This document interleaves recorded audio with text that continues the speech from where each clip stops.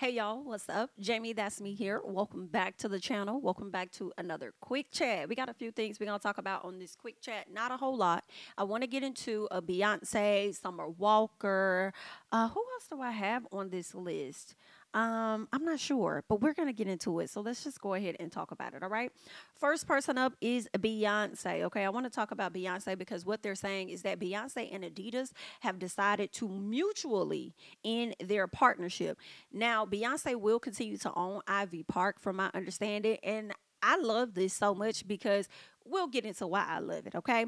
Now, let's get into what they're saying real quick. They're saying a source close to the matter tells the Hollywood Reporter that the Grammy winning entrepreneur and the and the German lifestyle brand have mutually agreed to part ways. Now, in 2018, Beyonce developed a partnership with Adidas and she relaunched her Ivy Park um, activewear. All right. She also designed new footwear and apparel for this brand. Now, Bey has been in partnership with Adidas for about five years, but they had some issues. Seems like Adidas has been having issues with everybody, child. Okay. Because with everything that was going on with Kanye West, they decided to, instead of just putting a pause on things, they decided to immediately jump ship and try to separate themselves from Kanye West, therefore only leaving them in the hole financially, to be honest. And now y'all over here about to part ways with Beyonce it's really not looking good for Adidas. And I feel like is Adidas gonna continue to be around? And if they are gonna continue to be around, I feel like they're gonna be going, girl, they're gonna be minimizing to a real simplistic brand, okay, to maintain. But let's keep going. They're saying that Beyonce has reported has reportedly had creative differences between Ivy Park and Adidas, and she's trying to reclaim her brand, create her own path, and ensure creative freedom. Let me tell you something. I love this for Beyonce personally. Um, I've told you guys at different times on my uh, video where when it comes to her Ivy Park brand, when she got with Adidas, it just wasn't giving what I wanted it to give. It just wasn't. I don't know who was in their creative department. Um, it just seems like did Beyonce have much say so at all? Because based on where her brand started versus where her brand ended up, with Adidas, I I cringed. I hated it. It was like they were taking her brand from active wear to a more fashion fashion style type thing, like you walk in the runway type stuff. Like it wasn't your everyday type of attire. You know what I'm saying? Like, I mean, they had a few fitness things here or there, but then next thing you know, they got a trench coat, and then they got this, and they got that. The prints didn't look that great, like, but we were gonna buy it anyway, right? Primarily because of Beyonce. Because when Beyonce rocks it, it looks like, oh, this is cute, even if it ain't cute for real, for real. So I'm glad she parted ways with them, and I'm looking forward to seeing um, exactly what Beyonce is gonna bring to the table as far as her creative side when it comes to it. Now, a lot of people are saying, Beyonce, you gotta promote your SHI too, girl. Like you got to do a better job at promoting your own stuff and wearing your own gear. You know, some people are saying that, but I'm wondering if she didn't do a lot of, you know, promoting and wearing or whatever the case was because she was relying solely on Adidas to do their part. But now that the brand is going back into her hands, I want to see what she's going to do with it, what new styles she's going to bring to the front, and if we're going to be seeing her rock a whole lot more of her own SHI. You feel what I'm saying? So we going to see, you know, we going to see what is given, um, yeah, I think this is the best decision. That's the short answer. Y'all try to pull all the stops out when y'all had this partnership. I remember y'all were sending stuff out to different celebrities, giving them, sending them big uh, boxes or whatever to their house for them to, you know, post on social media. Oh, I got my Ivy Park. I got my Ivy Park. I need y'all to understand, celebs doesn't don't for me and I feel like this is really for a lot of people, right? I feel like celebs, a lot of celebs don't really drive us to want to purchase fashionable items. They really don't. I feel like y'all should send them to maybe some influencers or even some random people, some fans, some people that's been out here always supporting you and buying your tickets and all of that, instead of sending it to these well known ass celebrities that can afford it or whatever the case is. Send it to some other folks, some people that's like us, some people that we could really, really relate to. Maybe that will put an impression upon us to want to buy some items. So, whatever she does with her rebrand, I hope she does not include a ton of celebrities with millions of followers just because they got the followers following, you know, that's gonna be a way for for you to get more promo out of it or, or whatever the case is. Like, I mean, girl, they don't have a whole lot of influence for real, for real. But um You know, those are my thoughts. Maybe some of them do, but if you're a celebrity that's not really known for your fashion for real, for real, why are you sending stuff to them? Like that's supposed to make an impression upon folks. Like I don't know, maybe that was Adidas' idea and not Beyonce, but hopefully she gets it together the next time around. Okay. Either way, girl, good luck. All right. I'm glad. I feel like I want to say congratulations on ending this partnership with some damn Adidas. Okay. Now let's go ahead and move on let's talk about Halle Berry real quick, okay? Because I came across a post on um, another YouTuber's um, IG page because I follow her.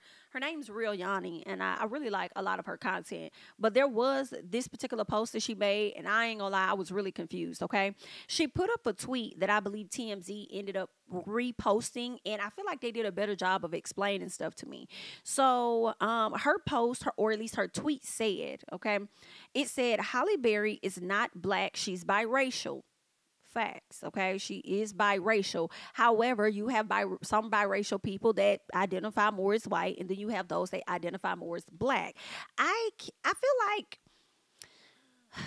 for me i feel like Halle Berry has been one to identify more as black to me. You know what I'm saying? I feel like her uh, she's been more relatable to her black side than her white side, but you know, girl, if she she probably, you know, takes advantage of both, whatever. But in her post, her tweet, she says Halle Berry is not black, she's biracial, and then she says white passing. And I'm like, I'm sorry, biracial does not equate to white passing. It just doesn't. All right? Like um Tia and Tamera, they mix with black and white. You know, I don't think that Tamera is white passing. I think that yeah, she has a white husband, but I don't think that she's she's white passing. Her children, I feel, if they decide at a later time, could likely white pass. You know, pass for white if they wanted to, based on, you know, how they look. You know, like looking at her children, you wouldn't know. Like I, I know for a fact her son. You may not know right out the gate that he's mixed with black right? That might be a question that you will have to ask. So that's what I consider to be a person that's white passing, a person that looks white. And it's hard to like, you know, tell whether or not they got any any black in them, and they could just pass for white and move on. But you could you could see the hue on Halle Berry child and know that she um is a you know mixed with black, and that's not white passing to me. Like, girl, have y'all not seen that that movie on Netflix? Um, I I, I forgot what it was. I think it could have been called White Passing. I cannot remember, but I mean, it was good. Like those two ladies, you know, it was filmed in black and white, but yeah, they look like they definitely could pass. But either way it go, um, this does not fit here. She says, plus she was uh Holly Weird's favorite. Meagan Good just talked about how hard her career has been by taking these types of roles. Chloe will learn the hard way. We don't make up their rules.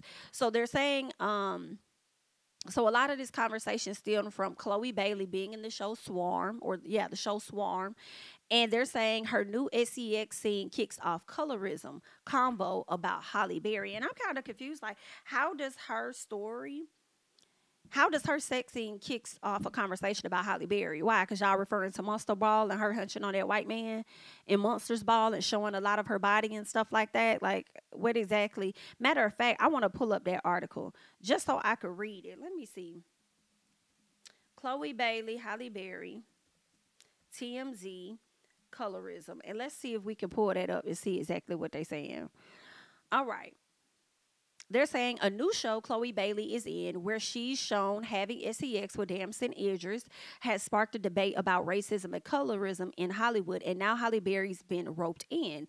You might have noticed the latter is trending this weekend. The reason is because of this discourse that's taken off since um, the show Swarm, okay, which starts out with the scene depicting Chloe going doing the deed in a very graphic detail. They're saying since then there's been a lot of chatter about her decisions to do sex scenes. Some say it's a great move slash good for her career, and others feel like it falls in line with other choices she made.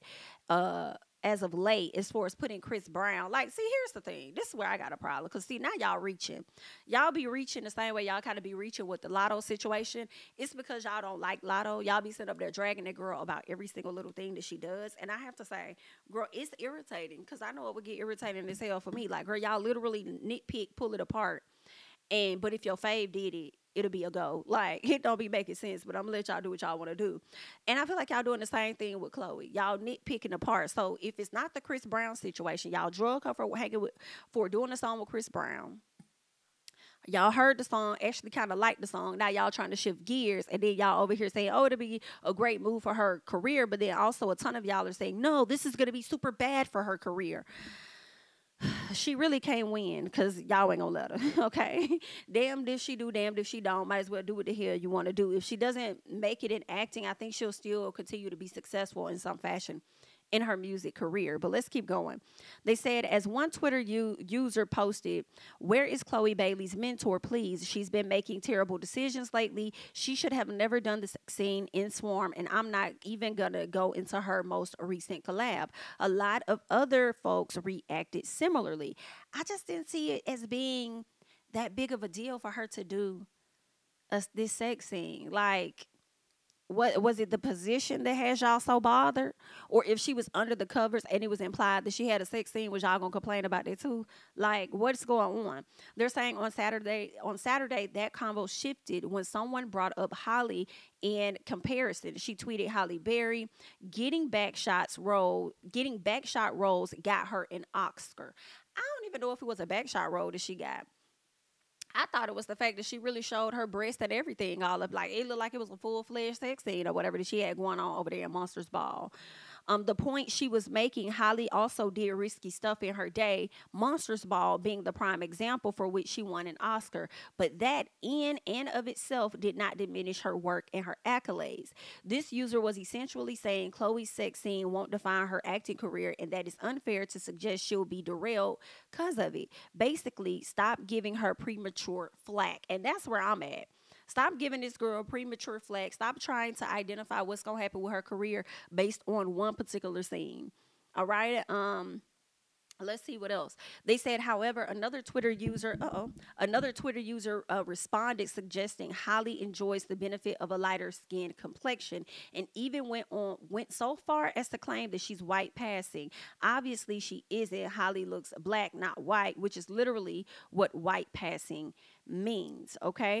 Um, I don't, I, I, I don't think that she looks black, not not white, which is what white, literally what white passing means. No, I don't think that's what that means. You know what I'm saying? Like you would have to look white, purely white, in order to pass, although you do have a black in you. Have y'all not seen that movie? Um uh, I think Mahalia Jack or was that?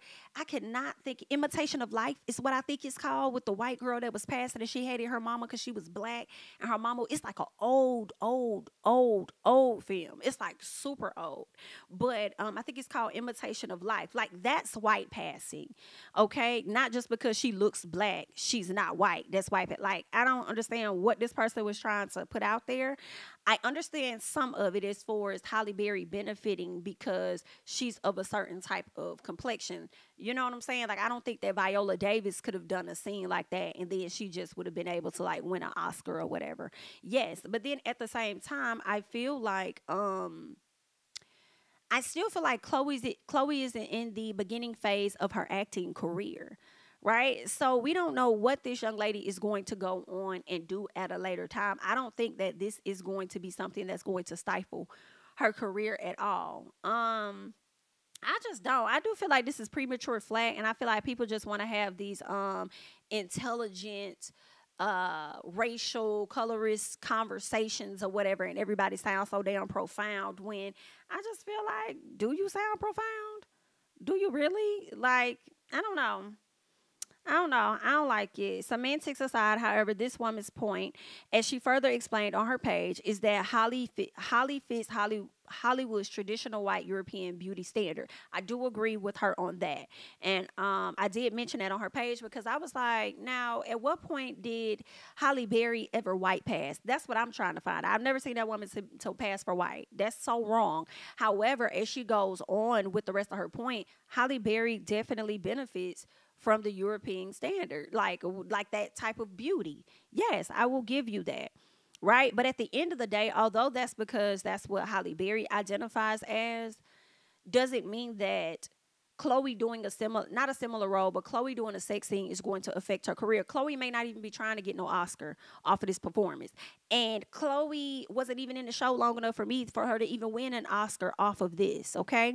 I feel like who should get an Oscar is Dominique Fishback, the young lady that played um Dre in the in the movie because it was layers to her character and she did her thing and I think that she definitely deserves, you know, a lot of key awards for that. But y'all taking a, such a small short moment and trying to define what's going to happen with this lady's career as if it's going to one propel her career or if it's as one going to diminish her career in any capacity um, i just I, I don't think it's gonna hurt or harm her. I think she gonna get booked on the next role based on her talent and whether they see her as a fit for that role and then she's gonna go on she's gonna progress and progress and progress. I feel like a lot of y'all are having these conversations about the sex scene and saying oh it's gonna hurt her and it's gonna hurt this and it's gonna hurt that because y'all don't like the fact that this girl has really been showing off her sex appeal as an artist. Y'all are so used to seeing her in this duo group with her sister and then now when she decides to, you know, show a difference of her being in that group versus her being a solo artist and she's coming into her sexuality and all of that,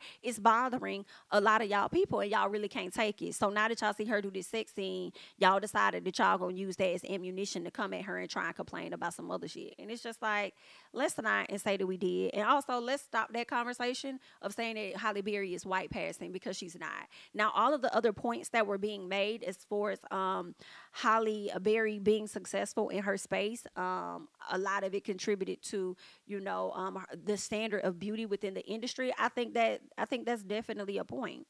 I think you definitely have a point, especially during the time that um, Halle Berry has come up during that industry. I feel like not all things have changed when it comes to the industry, but some things have definitely changed. And I feel like more black women have won notable awards, you know, and they didn't even have to show off their body or do anything and still won those awards. So it's kind of giving like, Mm, although you have a point in some sense, let's not put so much weight on the fact that Halle Berry's career propelled and she was extremely successful off of winning that Oscar. And off of winning that Oscar was because of the sex scene. When you have other women that went on, had great careers, didn't do none of that, got Oscars and all of that. I just feel like some of these conversations just be um I just feel like they don't be making sense all the time. They don't because I'm like, I hear what y'all saying, but what does that say about the other black women that's going on to win awards as well? And they didn't even have to do all of that. So I don't know. I just, girl, I just be confused. Y'all, you know, I'm sure y'all gonna eat me in the comments, and I'm gonna let y'all eat me, honey. Make sure you have a, a, cute fork. Don't use plastic on me when you eat, girl. Make sure you get you some some nice little silverware, some gold or something like that, silver and gold. Get you some of that when you decide to eat me in the comments, honey. Okay. But um, I'm just letting y'all know my thoughts. Like it was giving a reach. I see what y'all saying, but the conversation definitely was giving premature flag, and y'all just want to have yet something else to complain about or something else to feel intelligent or enlightened about, something that you feel that you could check people on when it comes to that. Like, girl, what the hell is y'all talking about? Girl, anyway, honey, y'all leave y'all thoughts on that, honey. Let me go ahead and let's move on. All right. Let's talk about Blac Chyna. Talking about beauty standards and stuff, girl. At one point, the beauty standard was having a big old booty that likely was not real. Okay, girl, y'all booties was out here so fake. Y'all was giving women like me with the real asses a run for our money. Cause let me tell you, I hate it so much because so many people get their asses done, and I say this all the time because it truly bothers me, girl. It's the fact that they think mine is fake, and I be like, no, ma'am. Uh, girl, if you saw throwback pictures of my mama, you would see. I go all of this and that from her, period. But anyway, girl, I had to bring that up. But speaking of Blac Chyna, okay, beauty standards, I'm actually happy about this for her. Um, she's getting fillers removed out of her face. Okay, she's lowering her the size of her breast. Okay, she's getting some of her breast implants either taken out or lowered in whatever you know what I'm saying. Because I guess she said they were too big and it didn't fit her frame with her going to the gym. She's also getting the shots taken out. She was saying that a BBL and butt shots are two different things. Um, and so um, I guess BBL, you use your own fat or whatever the case is, and then the shots you have illegal substances that's been put into your ass. I don't know, but from the time frame that she was getting the shots or whatever taken out of her butt, I was still seeing her sit on her butt. So I was a little confused. Like, girl, which one did you get? I'm so lost. Like I think she said she was getting a butt reduction. So if you get a butt reduction, it sounds like some of that silicone or whatever you got injected in there is still back there. You just had them cut off a piece of your ass. So how did that work? Like you were able to sit down in a car and all that. Did you have to sit on like? Did you have to sit on something? How did that work, girl? Mm-mm. Uh-uh. That's a lot. That's a lot y'all be putting yourselves through. But I appreciate her going through it. If she got it illegally, I appreciate her getting it removed pro- legally. You know what I'm saying? Because people have risked their lives, girl. And I hate that for them, the ones that didn't make it. But that's where she's at. And I can appreciate this new journey that, you know, um, Blac Chyna is on. I like this for her and I want to see how it how it goes for her. Um, I feel like everybody is entitled to get to a place where they want to rebrand themselves. I see absolutely nothing wrong with that. So if you want to get your rebrand on, girl, get your rebrand on. Okay, get your rebrand on and do your thing. Like, I'm here for it. She wants to be called Angela White. She really doesn't want to be referred to as Blac Chyna. And I feel like she's not the only person making these changes because I've also been hearing that some of the Kardashians have been making changes. Primarily, Miss Kim Kardashian has been making changes. I think she probably took some of her butt out too. Okay, I'll never forget that episode. She went to the doctor trying to convince her sisters that her ass was real. And it's like, girl, that's y'all sister. Y'all know that shit ain't real. Like, why is y'all over here playing with us on the screen? Only for the doctor to say that it is. Girl, stop the shit. Anyway, honey, that's what's going on with Blac Chyna. And I like that for her. She wants to be called Angela White. And um, she'll get to that place. You know, ain't nothing wrong with doing a little rebrand. Maybe she can get some better deals on the table. Maybe people will take her a bit more seriously. Okay. I don't think Blac Chyna is as dumb as she's looked in the past. You know, listening to her on some interviews, she sounds like she's pretty intelligent. It's just that she don't, she's a woman of, of not many words. Okay. She don't like to say a whole lot. Okay. But, um, yeah, we'll see what's gonna come of that. Y'all let me know how y'all feeling about Blac Chyna and this transformation that she's trying to bring back to the people. Okay, let's go ahead and um move on. Who else do I want to talk about? Summer Walker, girl. Y'all, Summer Walker had a party for her daughter, her cute little girl, her oldest daughter. And when she was holding onto her daughter, y'all, this video went viral of her. I'm not going to play the video because, again, YouTube sensitive. But when everybody started to sing happy birthday to her daughter, her daughter literally started to hit on her hit her, which is what little kids do, right? They be like when they, I don't know, they be in a little moments where, girl, you just can't really gauge how they for the act, girl. And she was just hitting on her. Then it got to a point where she started pulling her hair, and I said, "Oh, she fighting her mama." All her mama was doing was holding her, so she hitting on her mama, pulling on her hair and stuff like that. And I said, "Girl, now somebody done recorded it and uploaded it to social media, girl. Whoever did that, you need to find who they is because they was trying to embarrass you. That ain't no real friend for real, for real, girl. Okay." But so a lot of people came out they went in on uh, Summer Walker. So Summer Walker came to the front and she says that her daughter does not like loud noises. She ain't hit me till 50 people started singing happy birthday. And the last video she hit me, we was still singing loud as as well. LOL. She says y'all can shut the on my baby birthday. All right. She also goes on to say in the shade room comments, babies hit, but I can't sit here and tell Summer what to do with her baby. Or no, I'm sorry, that was somebody else. Okay. Um, this person says, um, she says, baby hit, baby's hit, but I can't sit here and tell Summer what to do with her baby or anyone else. For me, if I had a baby doing that, I will encourage her not to because it's not nice. Guess I just have to be a mother and in that situation. Summer seems like a great mother to her babies for sure, though. Baby girl is probably just going through her phases, um, the mean phase. Now, um, that's very true. That's how babies can be. And I'm when I saw it, I was thinking too, like, girl, she's in her terrible two phase. Because when they in them terrible too, sometimes, girl, they just be on some other shit. Okay, you have to get with them. And I probably would have had to get with her in that moment. Now, I probably would not have like whooped my child. Like, I probably would have grabbed her hands and she would have knew, like, girl, you better pull my hair again. Okay, like she she would have known. Okay, by the age of two, how we get down over here.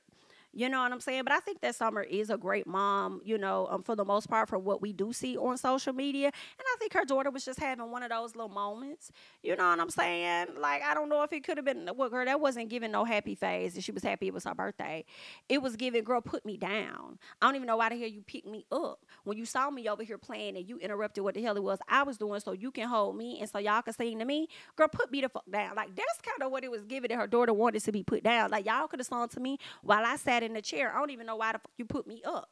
Okay, why did you do that? Like that's what her daughter was given. Okay, but she said her daughter don't like loud noises, and everybody singing to her loud definitely disrupted her peace. So that's why she cut up on the people the way that she did. So we just go, girl. Okay.